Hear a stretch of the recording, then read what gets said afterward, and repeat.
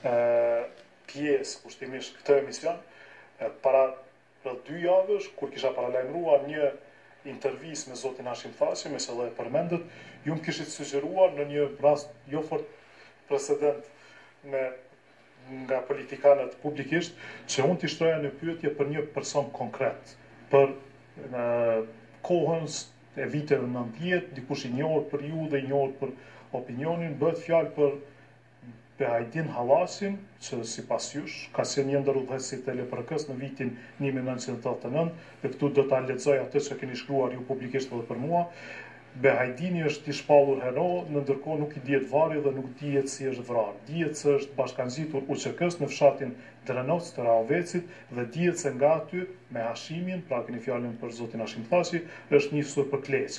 Më tej nuk dihet asgjë për të, asokohe UÇK doli me komunikatë në të cilën u tha se Behajdini ka rënë në luftime me armikun.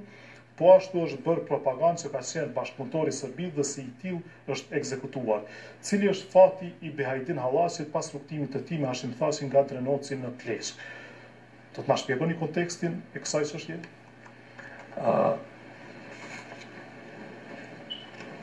ka pasur një një fjalë në kuvend në të cilën janë ngrit këto këto çështje, janë ngrit disa pyetje për për kryeministrin e atëhershëm Hashim Thaçi. Dhe ndër tjera është ngrit edhe çështja e Behajdin Hallaqit. Janë disa momente kritike në historinë tonë të themi të fundit, periudha e viteve nëntëdhjetë, organizimeve organizimit ilegal për luftën dhe pastaj periudha e luftës, janë disa momente historike të cilat ka pas kthesa të çuditshme në në në këtë histori. Në vitet nëntëdhjetë, në njërën anë ka qenë Organizimi i LPRK-së ka pas organizim të LKÇK-së ka pas grupe të armatosura të cilat kanë pas lidhje me me këto grupe politike ta zëmë grupi i Drenicës Adem Jashari që nuk kanë qenë në ndikim shumë të të dhe kanë qenë të gatshëm të këtyre grupeve politike por kanë qenë të gatshëm të bashkëpunojnë me këndo për të bërë luftë kundrejt Serbisë për aksionet dhe ka pas grupe të tjera të cilat kanë qenë kanë pas rivalitet ndërmjet veti Ka pas edhe propagandë kundrejt njëra tjetrës. Po çka ka qenë shumë interesante ka qenë ideja e krijimit të një fronti politik.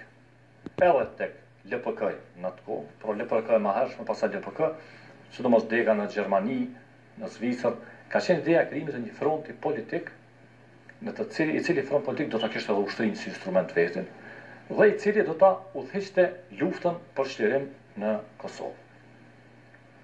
Ky front do t'i bashkonte forcat politike dhe do të kishte karakter politik.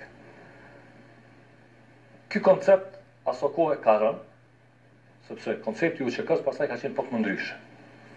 Dhe në tërë këtë rrugëtim ekziston edhe figura, shumë figura të ndryshme që kanë qenë të përfshira në në luftë. Nga viti tetëdhjetë e nëntë që e përmenda, udhëheqës të LPRK-së ka qenë Fadil Vata, Afrim Zhitia dhe Behajdin Hallaqi, që kanë qenë tre sekretarë të LPRK-së. Afrimi është vra më dy nëntor tetëdhjetë e nëntë. Në prill nëntëdhjetë ka vdek Fadil Vata si pasojë edhe torturave të të burgosjeve të mëhershme që i ka pas. Dhe Behajdin Hallaqi në vitin nëntëdhjetë e tetë, në verë të vitit, nga vera e vitit nëntëdhjetë e tetë nuk dihet më për të.